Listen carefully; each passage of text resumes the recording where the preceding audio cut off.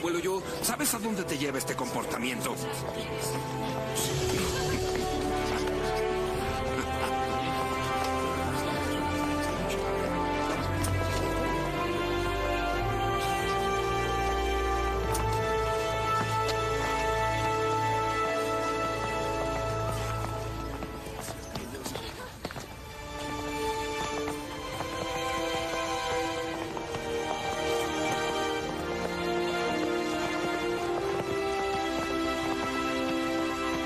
Lo siento, Víctor. Nada de esto hubiera pasado si hubiera confiado en ti.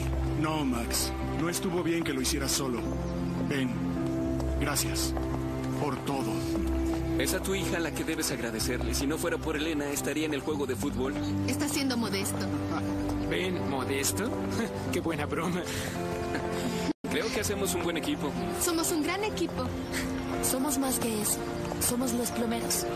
Y los plomeros tenemos un gran líder. Sí que lo tienen. Ven.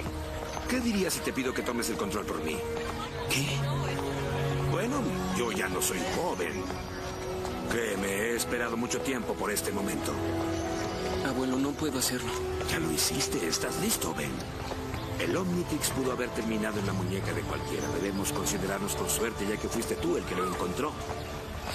Odio decirlo, pero el abuelo tiene razón. Podemos hacer una prueba de 30 días. Bueno, mi primera orden en el equipo es no aceptar la renuncia del abuelo.